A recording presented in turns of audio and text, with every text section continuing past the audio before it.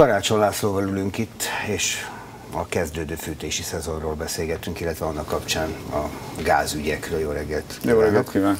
Ön a GDF szó, ez minőség, irányítás és biztonságtechnikai vezetője. A biztonságról kéne beszélnünk, de mert hogy minden fűtési szezon előtt tele van, főleg az internet, de időnként még a nyomtató sajtó és azzal a felvetéssel, hogy hát lehet, hogy most egy kicsit olcsóbb a gáz, de hát sokkal drágább lesz, mert a fűtés értéke sokkal rosszabb, mert hogy nem is tudom, hát vizezni nem tudják, de a fűtőértékét csökkenteni, igen. Mi van a gázzal? Fix annak a, a beltartalma, amit mi kapunk? Ott nincs kérdés?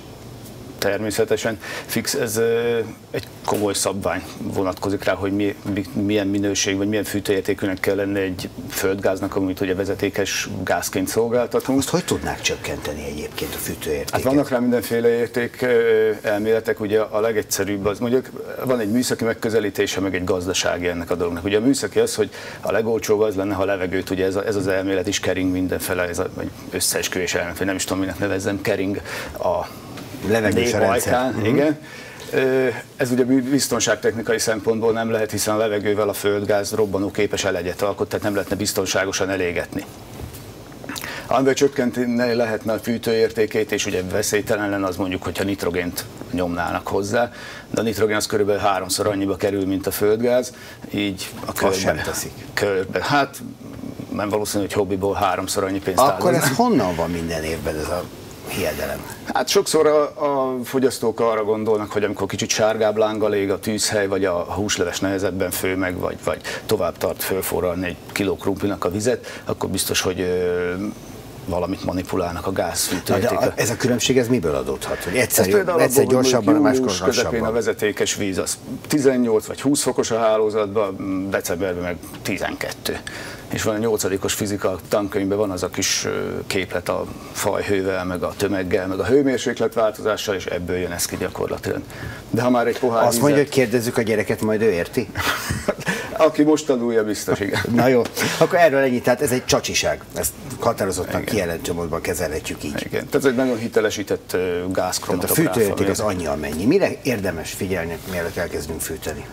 Fűtésszezon előtt mindig tanácsolni szoktuk a, a fogyasztóinknak, hogy, hogy nézessék át a gázkészülékeiket, hiszen ez olyan, mint egy autónál egy hosszabb utazás, hiszen nekivágunk a télnek, szeretnénk, hogyha mondjuk októbertől április 15-ig mindenféle gond nélkül tudnánk használni, megfelelő biztonsággal, hatásfokkal a fűtőkészülékeinket.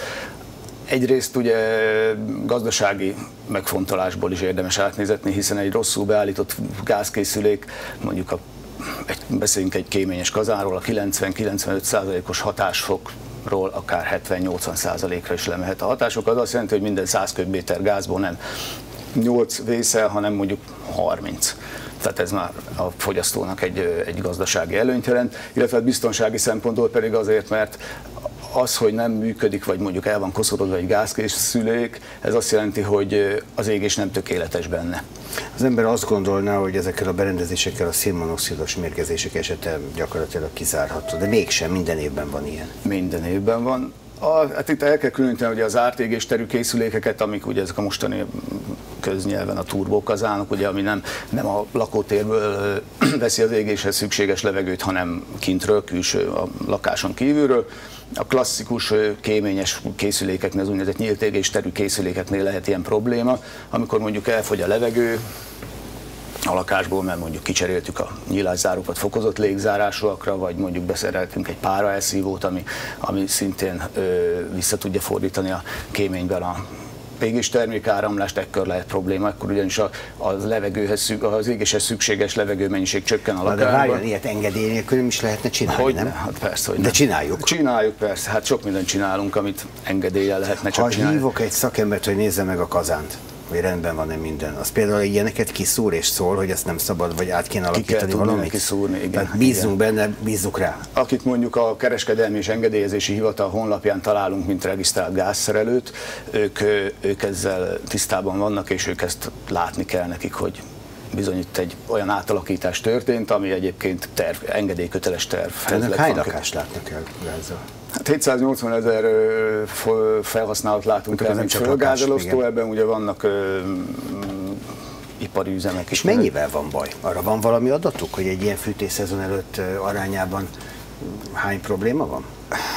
Pontos adatunk nincsen, de, de, de azt tudjuk, hogy a, illetve hogy a most beindult műszaki biztonsági felülvizsgálatok tapasztalataiból tudjuk, mert ugye ezt csinálgatjuk, hogy, hogy azért nagy száz, a régi rendszereknek ugye most a 81 előttieket kellett bejelenteni, ezeknek nagy százaléka vagy mondjuk 80 százalék körül körülbelül át van alakítva, vagy, vagy olyan, ami, ami már nem az eredeti terv szerinti állapotban működik. Ne ettől sajnáljuk a pénzt. Drága is lehet, meg a biztonságunkra is érdemes vigyázni. Köszönöm, hogy eljött hozzánk. Köszönöm szépen.